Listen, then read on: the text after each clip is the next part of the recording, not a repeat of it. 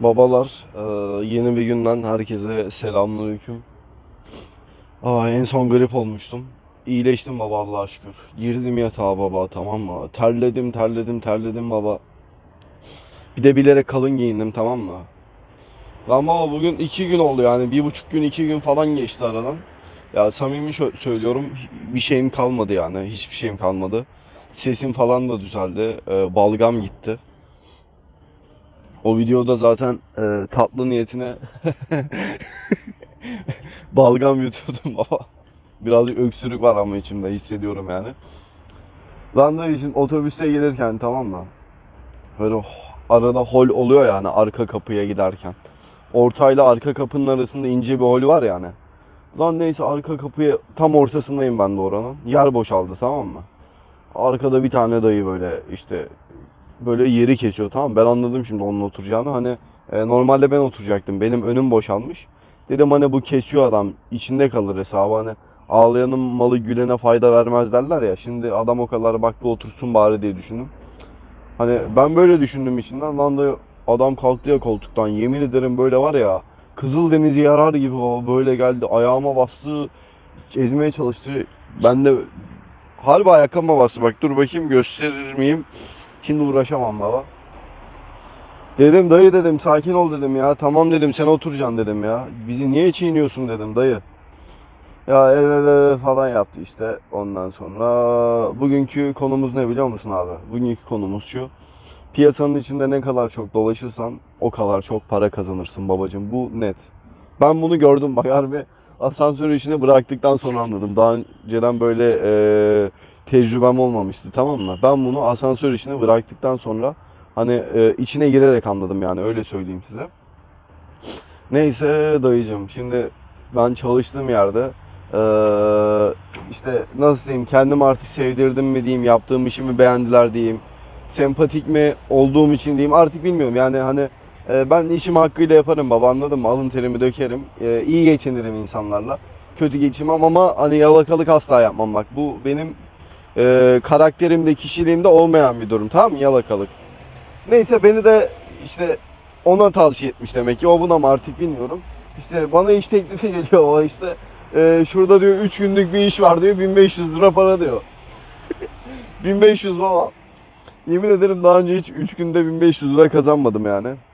Ee, bir de günde dedi 7-8 saat çalışacaksın dedi. Yemeği de veriyoruz dedi. Günlükte dedi cebine koyuyorsun dedi 500 lirayı. İyi dedim babacığım Allah bereket versin. İş neredeyse biz oradayız. Paradan haber verin yeter ki dedim. Böyle açık açık da diyorum ha paranın olduğu yerdeyim diyorum ben. Hani e, görürseniz falan paslayın gelirim yani diyorum vesaire vesaire. Şimdi neye değineceğim biliyor musunuz? Bak piyasaya çıkın. Samimi söylüyorum bak harbi piyasaya çıkın. Yani kendinizi sevdirin yani bak net diyorum. Hani e, nasıl diyeyim birazcık sempatik olmaya çalışın. Birazcık e, giyiminize, kuşamınıza veya atıyorum diksiyonunuza veya atıyorum e, abi şimdi bu da tarif edilmez ki bu karakterlik bir durum ya. Yani böyle hafif mizah, hafif sempatik takılmaya çalışın. Bir de piyasada aktif olun babacığım. Piyasada aktif olun. Pasif olmayın babacığım. Pasiflik iyi bir şey değil.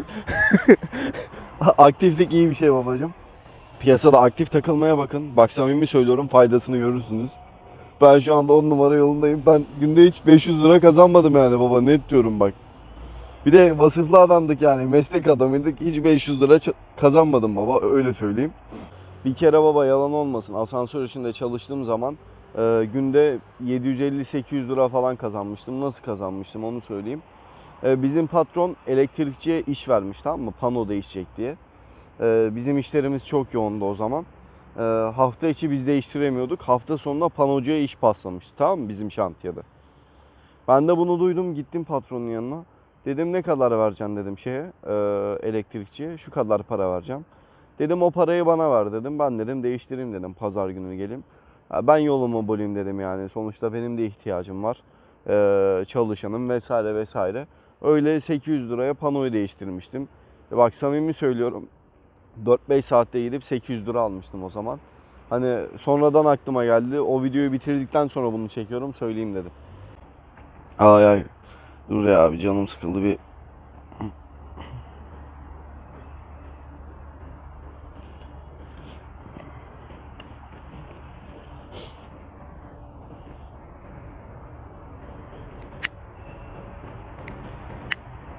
Bu arada sigara içmeyi kimseye tavsiye etmiyorum. Ben içesim geldi o yüzden içiyorum baba. Sigara zararlı, cebe zararlı, sağlığa zararlı, her türlü külfet babacım okey. Neyse piyasada ne kadar aktif takılırsanız kendinizi sevdirirsiniz. Gerek kendinizi pazarlarsanız eminim o biçimde yolunu bulursunuz. Ben hep böyle bir yere bağlı tamam mı? Hani e, yarı açık cezaevi gibi çalıştığım için ne piyasa ne ortam ne arkadaş ne işte kız ortamı falan yani çok olmadı bende tamam mı? Açık ve net söyleyeyim ama şu anda var ya bak hepsi birer birer gelişiyor. Para da koyuyorum cebime, ortamda yapıyorum, çevrede yapıyorum. Bunu övünmek için söylemiyorum veya buna çok ihtiyaç duyduğum için söylemiyorum. Sadece hani e, ne bileyim çok arkadaş, çok seven birisi de değilim ama hani sadece şu anda takıldığım, yaşadığım şeyden örnek vermek için diyorum. Piyasada ne kadar çok barınırsan, bak samimi söylüyorum o kadar farklı ortam, o kadar farklı kapı görüyormuşsun ben bunu anladım yani. Paranı da kazanıyorsun ve eğlenceli kazanıyorsun baba. Biz inşaata giriyorduk baba anasını satayım diyordum. Bugün nasıl bitecek diyordum ya. Ulan bir de inşaatın soğuğuysa eğer, kış ayıysa yani. Bak yemin ederim inşaatın kış ayında e, patrona diyorduk ki abi diyorduk inşaat çok soğuk biz çalışmayalım orada ya hasta edeceğiz kendimizi. Bizi eve eve eve yapıyordu tamam mı hani ya işte gidin çalışın hesabına getiriyordu. Neyse biz de gidiyorduk baba yemin ederim e, 300-500 metre aşağıda pastane vardı. 9'da oraya giriyorduk baba işte e, 4'te 5'te çıkıyorduk yani bak samimi söylüyorum. Çünkü neden biliyor musun? Ee, biz adama diyoruz abi bak çok soğuk. Burada gerçekten çalışılmıyor. Mümkün değil baba gerçekten mümkün değil. Kar kış yağıyor zaten. Ee, camların hepsi açık. Pencereler pimapenler takılmamış. Abi soğuk bir yerden giriyor bir yerden bir çıkıyor baba. Felç ediyor adamı tamam mı? Yani bana orada günde 500 lira 1000 lira verseler de çalışmam. Anladın mı? Kendi işim olsa da o gün gitmem yani öyle söyleyeyim. Ya adamı uyarıyorsun ev ev ev ev yapıyor. Ne yapacağım baba kendi canımı mı düşünmeyeyim yani? Kendi canımı ben yolda mı buldum babacığım? Allah korusun bir soğuktan hastalık kaparız, romatizma ve yüz felci bir olur lan insan bak samimi söylüyorum. Neyse. Öyle yani baba. Diyeceklerim bu kadar. Şunu tavsiye etmek istiyorum son olarak. Abi evinizde oturup aa şöyle böyle yapmayın. Gidin piyasaya. Bak samimi söylüyorum piyasada çalışın. Öyle kapı- kapılar açılıyor ki bak gerçek diyorum. Öyle kapılar geliyor gidiyor ki. Hani network oluyor, onu sana tavsiye ediyor, o başkasına tavsiye ediyor. Böyle böyle yolunda oluyorsun anladın mı? Diyeceklerim bu kadar babacığım.